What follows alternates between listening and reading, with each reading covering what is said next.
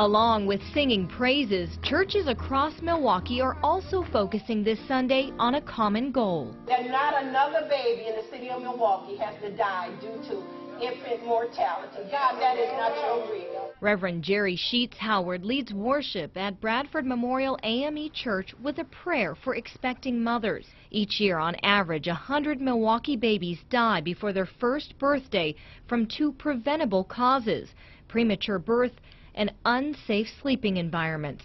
That statistic led the church to partner with the city for the fifth annual Strong Baby Sabbath. There are causes to this, um, but there are also solutions to this. Bradford AME was one of two churches where Milwaukee Mayor Tom Barrett delivered his message of support for families. We have to have churches that will be there to support women in particular when they need a break, when they need that emotional support, when they need an extra pair of hands. Bradford Memorial AME Church is one of 10 strong baby sanctuaries in Milwaukee. What that means is anyone who comes through these doors asking for help will get it.